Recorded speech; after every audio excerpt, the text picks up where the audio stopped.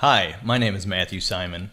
I'm a commercial realtor at Hermann London Group in Maplewood. Another one of the questions I get uh, regarding commercial real estate is what exactly is a 1031 exchange? A 1031 exchange refers to a method of deferring taxes on the sale of an interest in real property, allowed under Section 1031 of the Internal Revenue Code.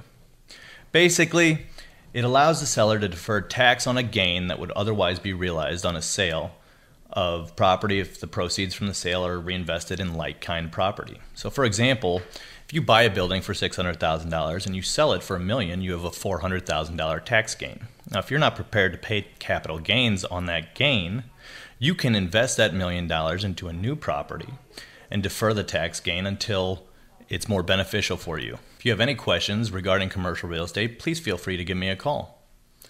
My phone number is 314 922 3523, and you can reach me via email at msimon at hermannlondon.com.